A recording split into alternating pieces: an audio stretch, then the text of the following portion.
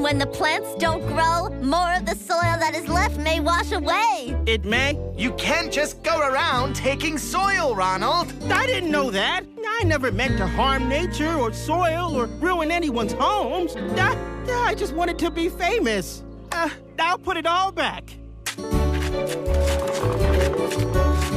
Steve, check it out! Hey, you got my soil back? Uh, not exactly, Steve. I'm so sorry. Your soil's gone. But we brought you this! Uh, you brought me garbage? That's what I thought, but actually, Steve, this is future soil. Looks like garbage to me! This is soil, Steve. Well, it will be in time. And when we add it back into the hole, things will grow in it for you to eat. Hey, whoa, whoa, whoa! I am not gonna live and eat in a pile of old food and rotten leaves. Steve, let me explain. All of this plant stuff in a pile will warm up under the sun, and bugs will come along to help. And after a little while, it won't look like this anymore. It will look like beautiful, rich soil. Compost is nature's recycling center. Wait, did I just make that up? And, and how exactly is nature gonna do this? Um, excuse me. Cue the compost heap building montage. It's not complicated. Just take the stuff you collected and pile it up close to where you want to use it. Veggie scraps, coffee grounds, corn husks, leaves, grass, and other plants all make for good soil. Good for planting, good for living under. And don't be concerned when your friends stop by for a meal or two. They actually help break everything down and turn it into dark, rich soil.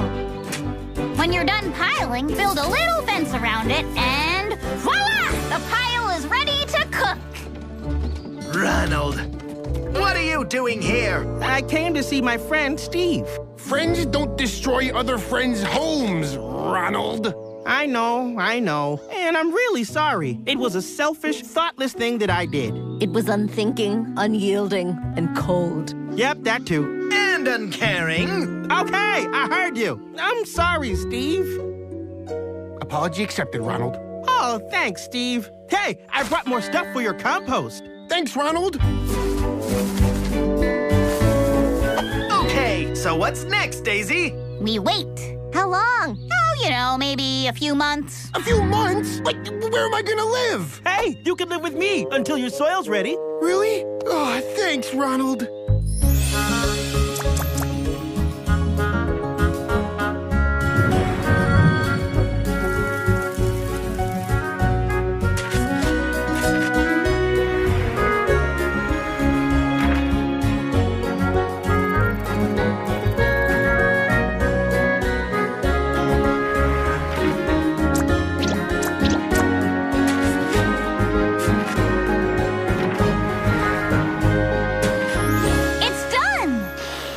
It smells like soil.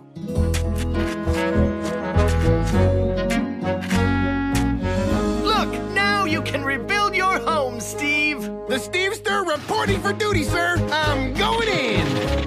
Oh, almost forgot. Thanks so much, guys. Okay, I gotta go. Yay!